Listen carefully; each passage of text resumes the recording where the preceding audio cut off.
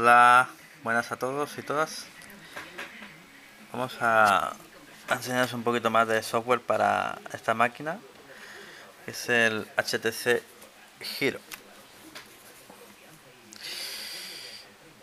Bueno, lo primero, antes, antes que nada, antes de que empezara a enseñar programitas, enseñaros un poquito lo que es la, la tienda Android.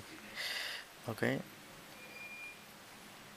La verdad es que es una comunidad creciente de programación de software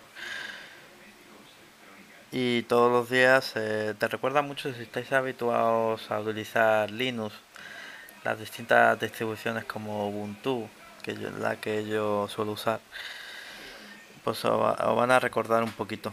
Bueno, por ejemplo, hemos entrado aquí a la tienda de Android y veis que no supongo que se podrá apreciar la cámara que está seleccionada por categorías aplicaciones, juegos y tiene una opción de buscar.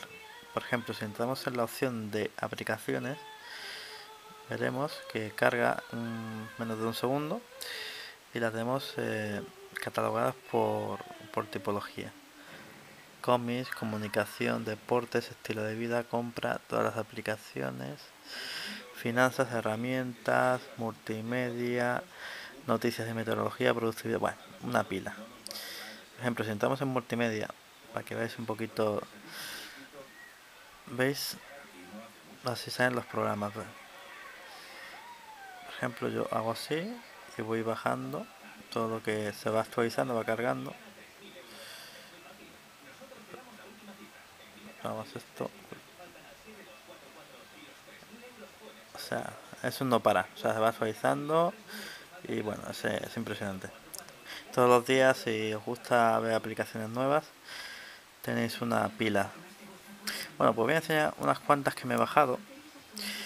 Que bueno, mm, tengo tres, eh, tres escritorios. Bueno, uno de ellos tengo aquí para páginas web y tal. Pues por ejemplo, aquí en el último tengo me he bajado un multicliente que es el de Woody, aunque prefiero, francamente, prefiero Fring eh, gran programa que empezó, empezó en Symbian. ¿Vale? Hoy incluso lo podéis encontrar en, el iPhone. Me he bajado un programa muy curioso que es un convierte el HTC Giro, que es este modelo, lo convierte en un detector de metales, veréis. ¿Veis que pone scanning? Ahora mismo no detecta nada, ¿ok? Si lo pongo encima del vallo, eh, bueno, el vallo es el, el portátil que yo tengo, eh, si lo pongo, se lo voy moviendo, ya va detectando metales. Aparte de que vibra, no sé si lo escucharéis, pero, pero vibra el teléfono y pone detectado. Si lo retiro, o sea, uy, perdón que se, va, se me ha ido la batería del portátil. Bueno, vamos a enseñar otros programitas me baja también un cliente de, de radio streaming, de radio por internet, que está muy bien. Bueno, deciros que ahora mismo lo que es el, el HTC Giro lo tengo conectado por wifi. Bueno, veis que lo mismo que antes, ¿no? Eh, se puede seleccionar por criterios. vamos a seleccionarlo por directorios y veréis que está catalogado por años, eh, o sea, por música de los años 20, de los 40, de los 60, etc. Seguir bajando, voy a ver ya otro tipo de categorías, como tipología, ¿no? digamos, de ambiente, americana, alternativa, de anime, por ejemplo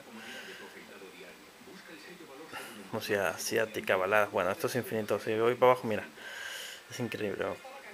Y bueno, incluso he podido encontrar emisoras locales de mi tierra, desde Málaga, es increíble. Bueno, vamos a hacer un guiño a los frikis que les gusta este tipo de vídeos.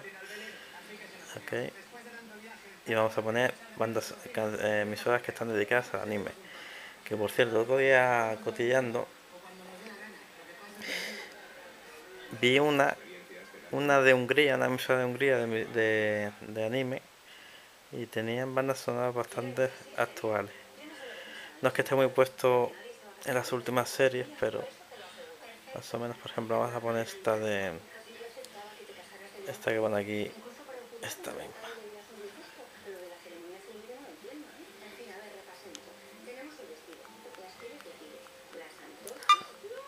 Carga un poquito, empieza a hacer buffer y veis que se escucha, ¿no?